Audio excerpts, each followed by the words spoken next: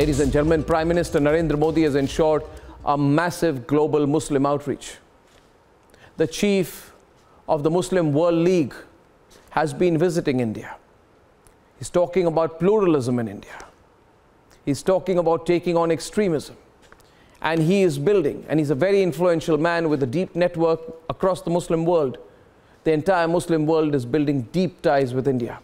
This happens at a time when the Prime Minister in a few days will be visiting the United Arab Emirates. We haven't just bolstered ties with Muslim nations.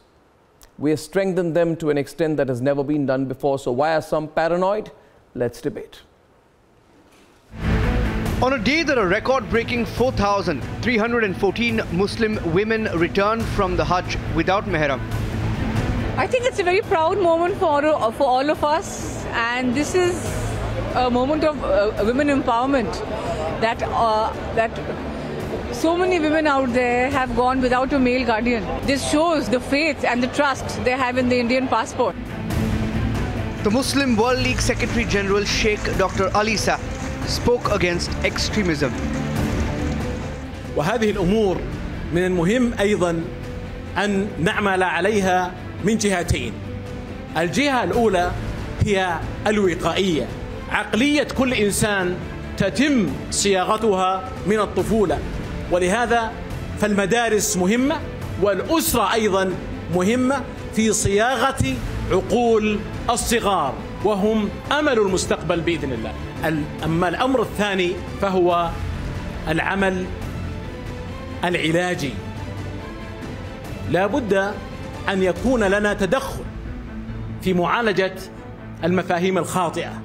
السلوكيات الخاطئة من أجل إصلاحها من أجل إيضاح الحقيقة Fueled by petrodollars in the 1970s, Salafism was a major export from Saudi Arabia on the ideological side, with some dangerous consequences for the rest of the world.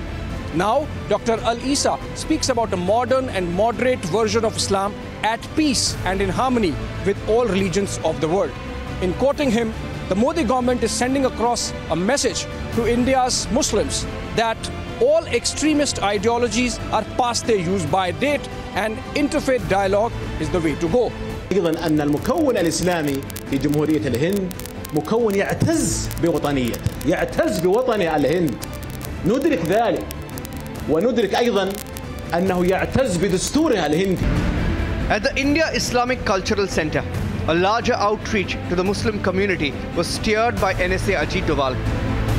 At a time when Islamic golden age was coming to an end with the Mongol capture of Baghdad in 1258, Indian heartland was quietly nurturing a Sufi renaissance with many sages and mystics spreading their message of peace and brotherhood. Prime Minister Modi's global Muslim outreach has become the focus. Significant transformation that has taken place in India UAE relations over the last few years. And a central driver of this has been the vision of the two leaders, the President of the UAE and the Prime Minister of India. Both of them, of course, also enjoy excellent personal rapport, which is reflected in their very frequent engagements. The visit would come a month after the Prime Minister became the first to visit Egypt since 1997. The commitment to a united India was exemplified with the address at AMU three years ago. आज देश गरीबों के लिए जो योजनाएँ बना रहा है जो बिना किसी मत मज़हब के भेद के हर वर्ग तक पहुँच रही है बिना किसी भेदभाव Will hardline elements within tame their position? Let's debate.